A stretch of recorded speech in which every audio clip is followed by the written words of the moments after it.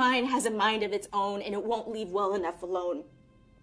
And my brain can't control itself, so I need you to help me and be patient.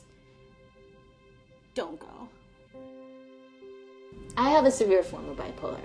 It's bipolar type 1. I lived in a household where mental health and mental illness wasn't a topic that any of us really knew much about. I grew up in a nice um, neighborhood in Southern California, really sunny. It, great parents. My mom, my dad were always around. So, um, in my situation, it wasn't a matter of any sort of extreme neglect. And I think what happened is when I started to experience some severe stress in my late teens, I went into a really bad depression. I just felt sad. And I didn't know why I felt sad. I was about 20 years old at this point. I just started to withdraw. And eventually, what started to happen is I lost a lot of weight two, three years later, still going through this depression.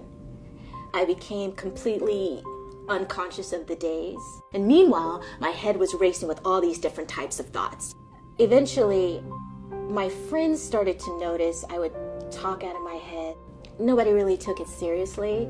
And then I stopped getting my sleep, started staying up around the clock, um, started having a lot of energy, started thinking I had a special mission in life to save people. I also thought that life around me was this movie set. I started to really believe these things. I was 24 years old, got into a cab, and um, cab driver after a while could tell that I was psychotic.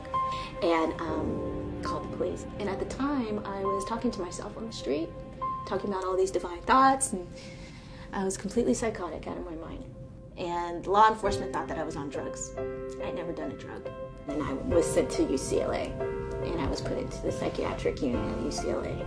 And that's when I was diagnosed. If I can say one thing, unless there's extreme, I just don't feel me. No, I don't think you heard me. I just don't feel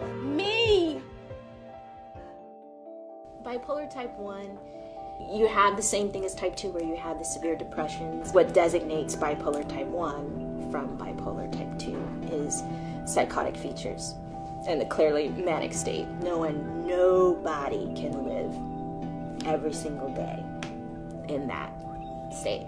No way. No way. You have to figure out a way to get help. I'm very grateful to have found the right combination of treatments and doctors and medicines. I, um, on a type of medication they call a mood stabilizer. So individuals that had bipolar disorder, mood stabilizers are really effective. If I didn't have the experience of having this bipolar condition. I wouldn't be writing poetry probably. I became more creative. I came I became more creative when I was finally put on the right medicines because I was out able to channel all those extreme emotions that I went through. I feel like there's a zipper on my brain and when I sit down and I write something, I feel like I'm letting the zipper unfold just like boom, like come all these thoughts. I'm tapping into the mixed episodes when I was in the hospital. When I was first diagnosed, there was nobody talking about this stuff. Now, more people talking about it, there is no health without mental health. And then Harmony reached out at me. And she said, It's okay. Your passion is only overrated. We know where it's coming from. If you don't take those breaths long enough to keep it sated, it's okay to be you.